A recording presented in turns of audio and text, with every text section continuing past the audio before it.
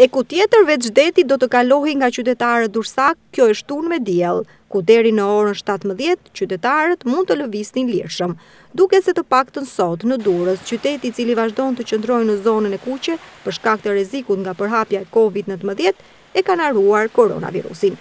Sheshet, ato pak lulishte të lira në hapësirat publike që ka qyteti, ishte zgjidhja e qytetarëve, ndërsa vendin kryesor e ka zënë shëtitja në breg të detit, pas gjashtëdhjetë ditësh në karantinë, kjo e shtunë dukej si një fundjavë normale për Durrësin dhe qytetarët e saj.